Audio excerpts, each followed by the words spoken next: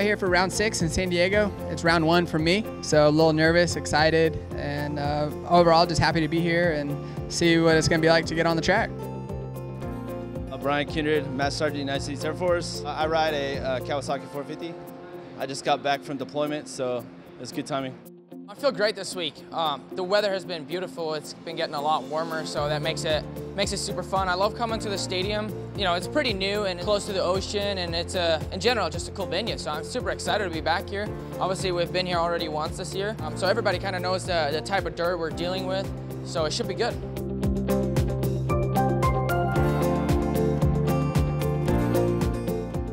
All my personal sponsors have stayed and, and transitioned with me over to RCH. So yeah, I'm, I'm glad I got to, to bring him with me. Uh, RC's been on me like nobody's business. So um, obviously my starts weren't that great the first couple rounds. So we're working on that, getting that better. Um, tried the hump out, seems to work. Almost got a holeshot there in the semi last weekend. So just trying to keep momentum like that. And obviously like, between you know RV and McGrath and Nick and man, I, I have a lot of good people around me right now trying to help me with uh, the direction.